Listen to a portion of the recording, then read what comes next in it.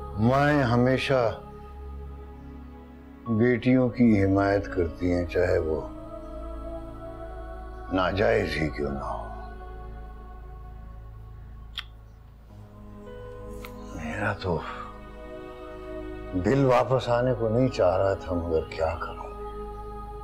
मेरे अल्लाह ने मेरे नसीब में तुम सबको लिख दिया है, एक लड़ी में हमें परो दिया है, मैं क्या कर सकता हूँ? लेकिन यहाँ क्या पता नहीं वो कौन से खुश नसीब मर्द होते हैं, जो घर जाएँ तो घर की औरतें उनके आगे पीछे फिरती हैं और एक मैं बदनसीब। मैं चाय लेके आऊँ आपके लिए। अम्मी मुझे वो बड़ा वाला ट्रेन ही मिल रहा है इसलिए चाय और समोसा।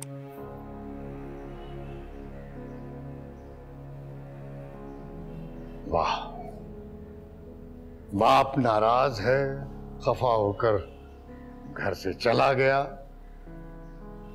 यहाँ किसी को एहसास ही नहीं है। जियाफतें उड़ रही हैं। हैं? अब्बा आपको तो बात बात पे नाराज़ होने की आदत है। चाय पीली समोसा खा लिया तो उसमें जियाफत क्या है? तुम तो मत मुँह लगो मेरे। आ, आप चाय तो पी लें। रहने दो। खुद ही पियो। ये जो एहतमाम हुआ है ना ये सिर्फ़ तीन लोगों के लिए है। मेरे लिए नहीं है। मेरा तो यहाँ कुछ भी नहीं है।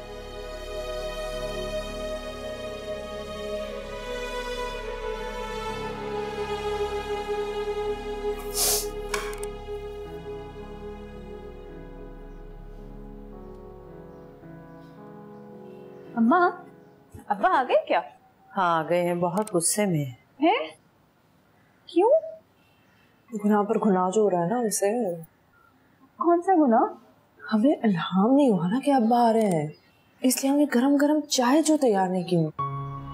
हट मेरे हिस्से का कब दो और मैं समोसे भी लेके जा रही हूँ। मैं तो उन्हें दो।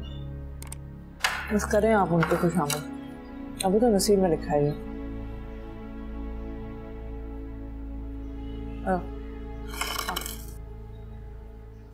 मूड ही खराब कर दिया पूरा।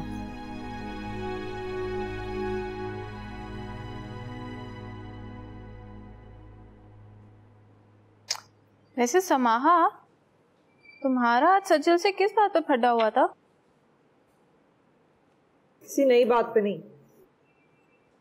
तुम उलझती क्यों हो उससे? हालाँकि तुम अच्छे से जानती हो वो कितनी बदतमीज लड़की है और उसे कितना गुरूर है अपने स्टेटस पे। तो होता रहे उसे गुरूर। मुझे इससे क्या?